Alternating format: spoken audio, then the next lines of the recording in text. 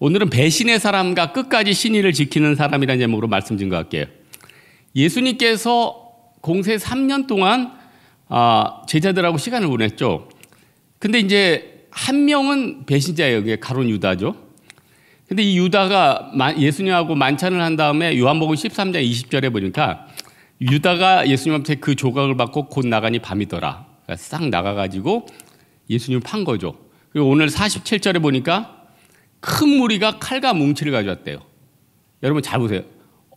어떤 사람들이 왔어요? 큰 무리. 주석에 보니까 예수님을 잡으러 올 때 한 200명이나 왔대. 야, 우리는 한 20명 정도 왔을 거라고 생각했는데 200명이 왔대. 그러니까 예루살렘에 200만 명이 6월절 행사를 하고 모였고 예수님은 아주 후끈한 핫 이슈였단 말이에요. 그러니까 예수님을 제거를 하려면 확실히 해야 돼요. 그러니까 200명이 왔다는 거예요. 여러분 미국 대통령이 우리나라 오면 경호 몇 명 온다 오는지 아세요? 깜짝 놀랐어요. 300명이 온대. 이야. 지난번에 미국 대통령 왔는데 하, 미국 대통령이 하얏트 호텔을 좋아하나 봐요. 오자마자 항상 그런데 야 호텔 설계도부터 내놔. 딱 보고 어디부터 출입구 봉쇄하고 확실히 처리를 하는 거죠.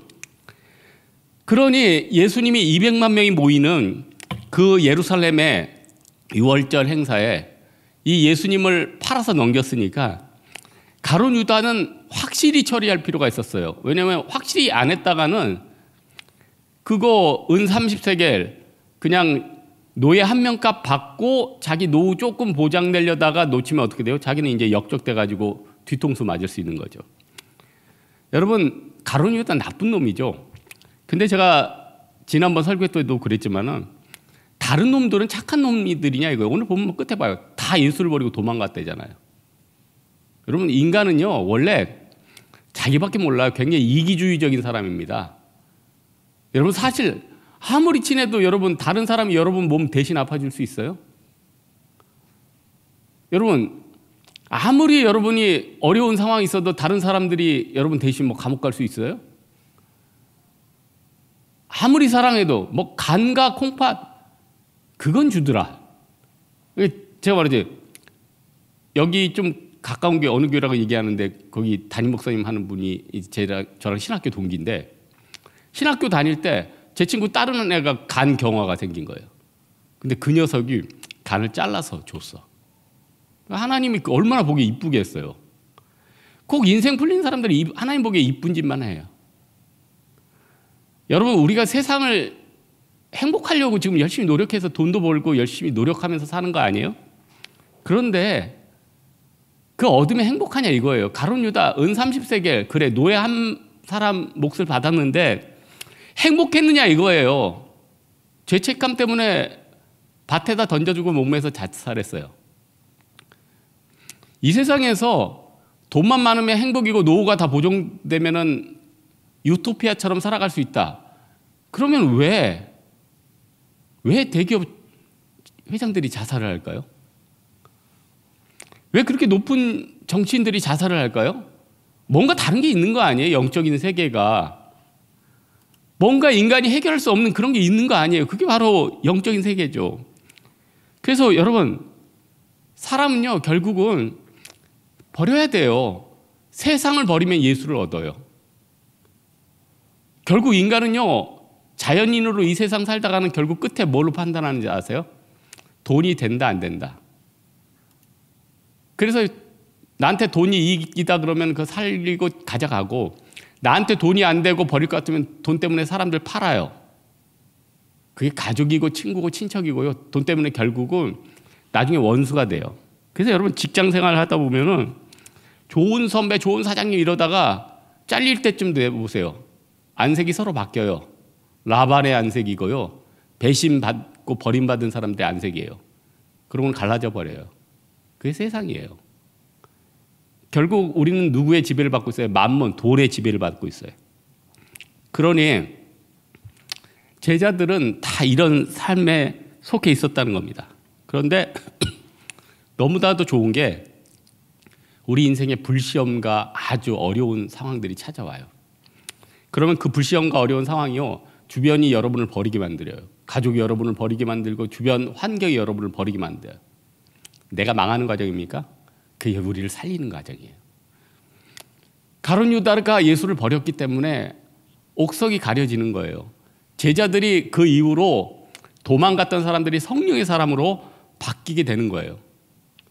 여러분 세상 것 어떻게 버려요? 사실 그거 없으면 여러분 세상에서 무시당하는데. 근데 예수님 버리라고 그래요.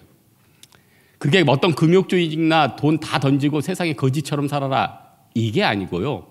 내 마음과 내 생각의 중심은 항상 예수님 앞에 있는 거예요. 성령에 가 있는 거예요. 하나님은요, 결국 버리는 사람한테 다 줘요. 왜냐? 하나님 살아계시기 때문에.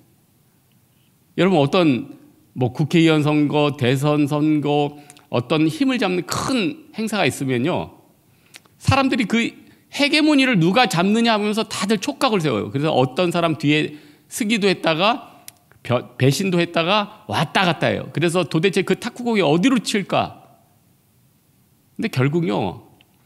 그 사람이 꼭 정직하고 대단해서가 아니라 어떻게 돼요? 하나님 뜻대로 가요.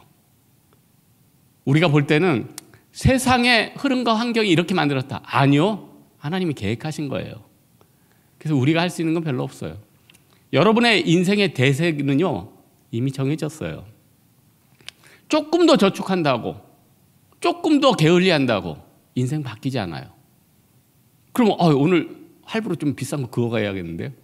그러진 마요. 그러면 남은 삶이 팍팍해져요. 그거는 이제 욕심의 영역인 거죠. 여러분 사실 행복 여러분 몇 평에 살아야지 행복합니까? 국민 평형에 살아야지 행복합니까? 예? 무슨 차를 타야지 행복하죠? 하차감 좋은 거? 뭘 타야지 여러분 행복합니까? 몇 평에 살아야지 행복해요? 맨날 저 하는 얘기 있잖아요. 군대에서 30명에서 2, 3년 동안 한 방을 쓰니까 한 평도 아니에요. 0.5평. 내 몸만 딱 누일 수 있는 나만의 공간만 있으면 군생활 할만 하겠더라니까요. 그리고 퇴근하는 방위분들을 보면은 너무너무 부러워요. 야, 이제 나가서 전화 통화도 하고 술도 한잔하고, 물론 저는 술은 안 먹습니다. 근데 교제도 하고 좋겠다. 근데 여러분, 그게 안 되잖아요. 그러면 뭐 제대하면 행복합니까? 또 그것도 아니에요. 아, 자매들 뭐 출산하면 행복하고 뭐 그러면 애들 대학 가면 행복하고 산 넘어 산이에요. 그래서 결국은요 인생은 아무리 여러 상황이 있어도 결국 나 혼자 하나님 앞에서 단독자로 살아가는 거예요. 자유롭게 살려면 어떻게 돼요? 버려야 되는 거예요. 십자가 앞에서 예수 앞에서 다 버려야 되는 거예요. 근데 버리는 게 쉽지 않아요. 모세가 다 버리는데 80년 걸렸어요. 40년 동안 왕궁에서 이제 투트모스 3세랑 막 헤게모니 잡는다고 난리했겠죠. 왕자로서 미래의 삶, 이집트의 미래의 삶, 내게 다가올 영광 이런 거 하다가 어떻게 돼요? 살인자로 몰려가지고 이제 뭐 실제로 살인을 했죠. 쫓겨나서 그 다음 40년 어떻게 돼요? 그토록 여러분이 부려하는 노년에 폐휴지 죽고 힘들게 살아가는 40년을 보냈어요. 양치면서 쓰레빠 끌면서 살았어요. 그러다 80년 때 떨기나무 아래서 예수님을 하나님을 만나죠. 몇 년 걸렸을까요? 80년. 그러나 모세 인생은 언제부터 시작되는 거예요? 그 80년 때부터. 지금 30대도 있고 40대도 있고 60대도 있어요. 버리면 그때부터 다시 시작돼요. 리셋되는 거예요. 두려워하지 마세요. 세상이 여러분 버리게 놔두세요. 여러분이 세상을 버리세요. 그럼 자유로워져요. 종처럼 노예처럼 매여서 이 세상 만mon과 세상적인 정욕과 세상적인 축, 원하는 것들을 추구하다 가서 남는 게 뭐냐는 거예요. 아무것도 없대요. 물거품이라는 거예요. 마귀는요, 온통 우리 생각을요, 세상 것, 물질, 영어, 머티리얼. 이 물질에 매여서 그거 하나 더 얻겠다고. 코인, 주식, 부동산, 그거 조금 더 오르면 좋겠다고. 좋죠. 세상에서는 그게 힘이니까. 근데 그게 다냐는 거예요. 하나님이 주신 분복이 있어요. 하나님이 먹으라고. 여러분, 도대체 얼마까지가 사치고 얼마까지가 절약하는 거예요? 한 달에 얼마 쓰는 게 제대로 예수님 앞에서 사는 거고 얼마 쓰는 게 십자가의 원수같이 사는 겁니까? 어떤 사람은 100만 원짜리 물건을 턱턱 사는데도 하나님이 그래 살만하지. 어떤 사람은 10만 원짜리만 사도 이놈의 욕심이 표독하네 이렇게 같이 판단이 틀려요. 왜 그럴까요? 한 사람은요 하나님 앞에 다 내려놓는 거예요. 물질이 다가 아니다. 하나님이 손 놓으라면 다 놓을 수 있어요. 그러나 어린 아이도요 이건 내 거. 내가 아버지를 부인해서라도 이 사탕은 내 거. 그럼 욕심이 가득한 거예요. 우리가 예수님 앞에서 늘 버릴 수 있는 자세를 가지면요. 인생이 flex가 아니라 flexible한 사람이 돼요. 유두리가 있어요. 세상에 까지 스트레스 지는 거. 우리 지금 그러잖아요. 무좀만 걸려도 작은 병만 걸려도 벌벌벌 떨지 않아요. 그게 하루 종일 여러분을 괴롭히니까. 그러나 아, 저희 소명희 시인처럼 평생 몸도 못 움직이는 어떻게 보면은 여러 가지 병변 때문에 움직이지도 못하는 사람이 있고 하체를 움직이지도 못하는 사람이 있고 심지어는 예수를 몰라서 지옥에 떨어지는 사람도 있잖아요. 그러니 세상 권세를 언제든 버릴 준비가 돼야지 내 영혼이 그때부터 풀리는 거예요. 제가 아까 38년 된 병자 얘기했는데 38년 동안 매여 있어가지고 예수님이 그걸 풀어주셨는데 그 사람이 완악한 사람이 또 관원한테 일러. 참. 그러니까 우리 인생이 그래요. 꼭 빈곤하고 마음이 약하다고 그 사람이 의로운 사람이 아니고 세상적으로 봤을 때 좀 풍족하고 세상적으로 봤을 때 저 사람 기름기가 있다. 그래도 참 진실한 사람이 있어요. 중요한 게 뭐예요? 십자가 앞에서 내가 버릴 준비가 되어 있는가. 그리고 한 가지만 더 살펴볼 거는요. 결국 인간은 하나님 앞에 서요. 심판받아요. 근데 세상을 살면서 우리는 뭘 하고 있어요? 다른 사람을 심판할 준비가 돼 있어요. 아, 저 부장 저거, 야, 하나님은 저런 사람 왜 데려가지도 않나? 와, 저 집사, 저 사람은 어떻게 예수 믿는 사람이 저렇게 살고 있어? 아우, 저 녀석, 아, 내가 인간관계 진짜 저놈은 내일부터 손절이다. 우리는 남들을 심판할 준비가 돼 있어요. 성경에 보면 탕자의 비유 있잖아요. 첫째 아들이 주장하는 게 맞아요. 둘째 아들 인간도 아니에요. 그러나 아버지의 마음 뭐예요? 어쨌든 한 영혼 건져야 됐다는 거 아니에요? 어쨌든 용서해가지고 지옥 갈 건 천국으로 가야 되고 어쨌든 자식이니까 버릴 수는 없는 거 아니에요? 첫째 아들은 뭐가 없었어요? 그 아버지 마음이 없었던 거죠. 여러분이 지금 진짜 미워하고 증오하는 사람들 지옥 가요. 미워할 여유도 없어요. 용서해주고 싸매고 예수께로 인도해야 돼요. 그래 그래. 마음속으로 네가 잘못했는데 내가 잘못했다. 아, 우리 교회 가자. 우리 하나님 앞에 나오자. 그러면 한 영혼이 구원받아요. 근데 여러분 가족이든 친척이든 여러분 앞에서 쓸데없는 고집 부리고 여러분을 고통스럽게 가지고 그래 이번 기회에 우리 가족이든 친척이든 다 손절이다. 그러면요 그 사람 마지막 기회가 없어요. 그럼 그 마지막 기회 없는 그 사람 지옥 가면 좋아요? 네? 좋냐고요. 아, 여러분한테 피해를 줬어요. 근데 종국은 지옥 갔어요. 통쾌하냐고요. 나중에 주면 너무 고통스러울걸요? 아, 내가 손 내밀어가지고 잡아서 천구로 끌어 당겨 줄걸. 내가 발로 빌걸. 내가 대신 짐을 질걸. 그러면은 하나님께서 얼마나 기뻐하시겠냐는 거예요. 이 세상에서 꼭 해야 될 게 뭐예요? 남을 살리는 거 하자고요. 이 세상에서. 아니, 가룟 유다는 예수가 팔려가는데 뽀뽀를 해요. 왜 뽀뽀를 하죠? 확실히 이놈이다 넘겨주는 거예요. 예수님 알려줘서, 아, 여러분 오늘 성경 공부할 때 요나단 보세요. 다윗 살려주겠다고 뒤에서 살짝 살짝 알려주잖아요. 자기 아버지가 그렇게 죽이려 하는데도. 근데 가론 유다는 뽀뽀로 알려주는 거예요. 여러분, 유대인들도 웬만하면 뭐 뽀뽀를 그렇게 많이 해요? 우리나라 사람 뽀뽀하는 문화예요? 저도 우리 우리 부모님하고 저는 굉장히 사이가 좋은데 별로 안 하는 게 있어. 스킨십을 절대 안 해. 악수도 잘 안 해. 오, 서로 아, 가족끼리 악수하면 안 돼. 막. 아니, 사이는 좋아요. 근데 제가 어머니 중환자실 들어갈 땐 뽀뽀를 많이 했어. 왜 그랬을까요? 언제 못 나올 수도 있잖아요. 이제 끝일 수도 있잖아요. 어머니 고마워요. 그땐 뽀뽀를 많이 했어. 볼 때마다 했어. 이제 못 나올 수 있잖아요. 이제 끝날 수 있잖아요. 근데 가론 유다는 3년 동안 자기를 먹이고 재워준 예수님 뽀뽀해서 그걸 팔아버려요? 너무너무 나중에 가론 유다가 구원을 받았어도 영원히 고통스러웠을 거예요.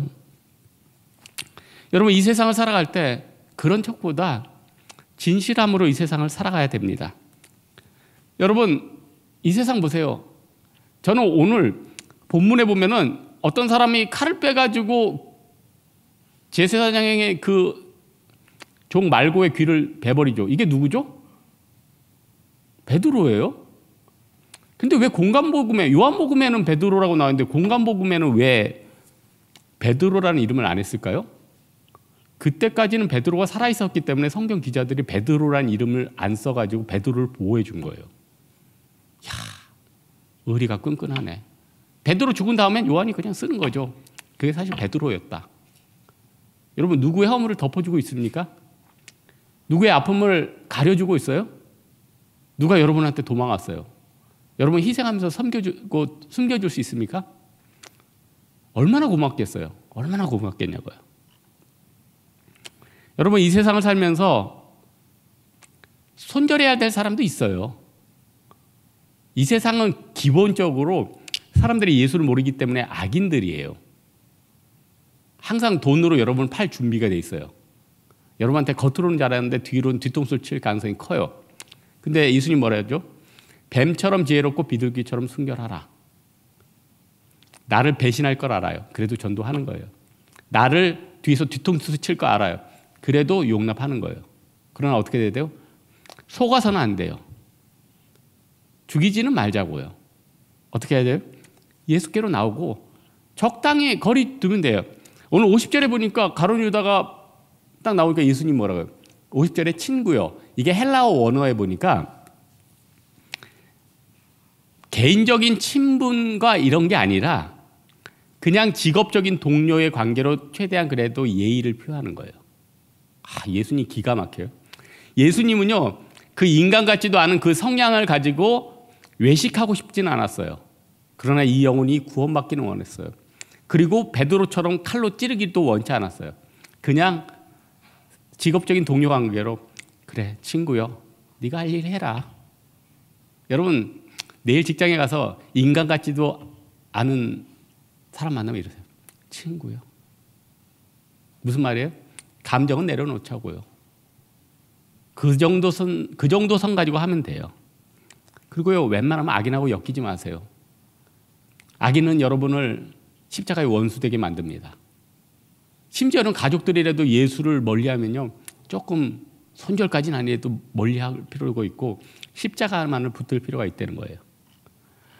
오늘 말씀의 결론 맺겠습니다.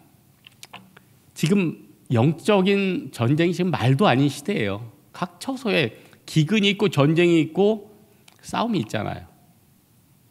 마지막에는요, 이 모든 것을 능히 이겨내기 위해서는 아, 진짜 성령 사역이 필요해요.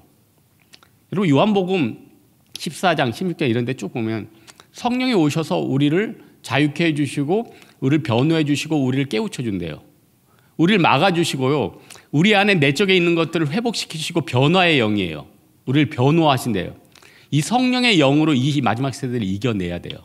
그러나요, 그냥 있으면은 자전거가 그냥 있으면 쓰러지는 것처럼 우리가 다 어린이부터 노이까지 다 퍽퍽 쓰러질 수밖에 없어요. 세상의 흐름에 따라 다 굴복할 수가 없어요. 요즘 시대에 예수 안 믿잖아요. 교회들 문 닫아가잖아요. 앞으로 어떻게 될까요? 영적으로 더 어둠 가운데 있을 거예요. 그러나 그 어둠 가운데 있을 때 성령의 능력을 받으면 우리는 그 환한 빛으로 말미암아 세상을 비출 수 있는 거예요. 사랑하는 우리 홍대 세계 성도들, 이 시대에 정말로 영적인 자유를 얻고 싶지 않습니까? 돈이 자유 주는 게 아니에요. 예수가 자유를 줘요. 예수가 우리의 몸을 고쳐주고요. 예수가 우리의 영을 고쳐주세요. 이 믿음으로 말미암아 성령의 능력으로 말미암아 이 시대들을 능히 감당하는 여러분 되기를 주님의 이름으로 축원합니다. 예, 우리 찬양할까요? 한 사람